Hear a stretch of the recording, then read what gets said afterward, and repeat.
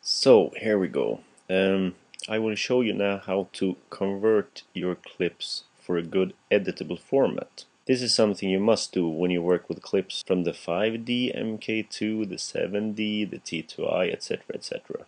And that's because when the camera saves the clips on the camera, it converts the clips to good format to be shown on television or the computer screen, but it's not good at editing.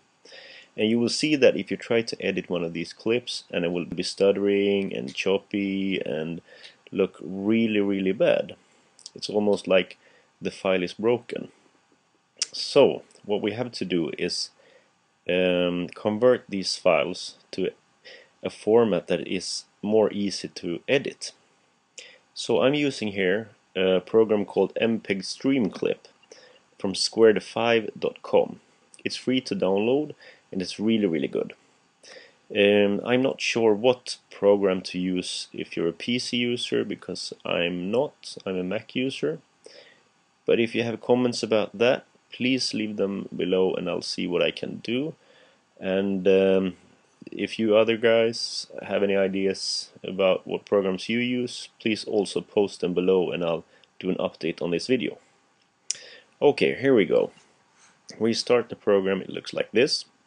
So what I do is I go to the list menu option up here. I press batch list.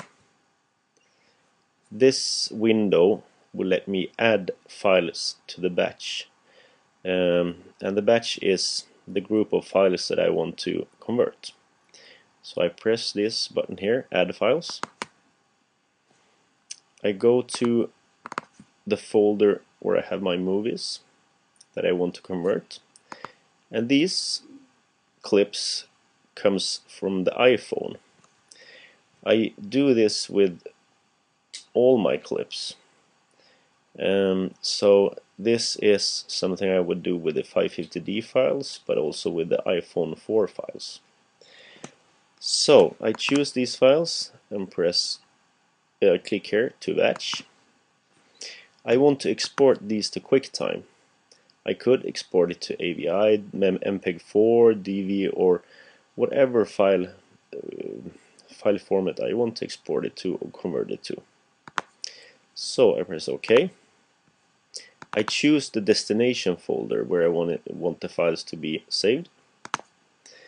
And then I come to this option window. Here I can choose what sort of compression uh, protocol I want to use if I want to use uh, Apple XD-Cam, Apple HDV, Apple DVC Pro, etc. etc. H.264. What I use is Apple ProRes 422 or Apple ProRes 422 LT. So right now I'm going to use Apple ProRes 422. Uh, I turn this one up to 100. When you start the program the first time, it's usually down here at 50. So I put it up there. I check the, the frame size here. And also, when you usually import uh, movie clips from the Canon, this uh, box uh, is like that. So I uncheck it. I make sure that it's not interlaced scaling. And then I press to batch. I don't care about the rest of the stuff here. To batch. Here we have four files. I, I forgot a few files so I just press add files again and I add these two here. Add to batch. QuickTime into the converted destination folder.